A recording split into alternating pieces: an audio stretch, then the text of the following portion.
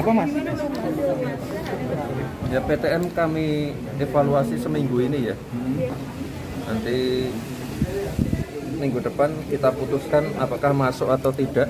Yang jelas kalau minggu depan bisa PTM ya PTM. Kalau orang tua yang masih takut mengirimkan anaknya ke sekolah ya PJJ boleh. Tidak dianggap absen. Nanti kita lihat seminggu, seminggu ini dulu ya kita evaluasi ya. Bersabar dulu.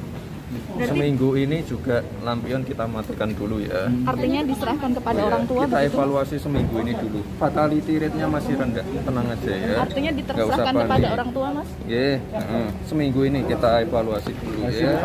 adanya peningkatan yang cukup signifikan ini ada pengetatan juga mas ya. adanya peningkatan cukup Ada nanti signifikan lihatan SE-nya ya. SE-nya Yang jelas nggak usah takut. Fatality rate-nya masih sangat rendah. Wes bisa diatasi. untuk untuk pengetatannya salah satunya apa Mas? Ada ada wes nanti kita siapkan, nanti kita siapkan Untuk- di Prio Suaratan sementara ya. Untuk mall mas, Nanti ada mas. beberapa masih sama. Semuanya masih sama ya.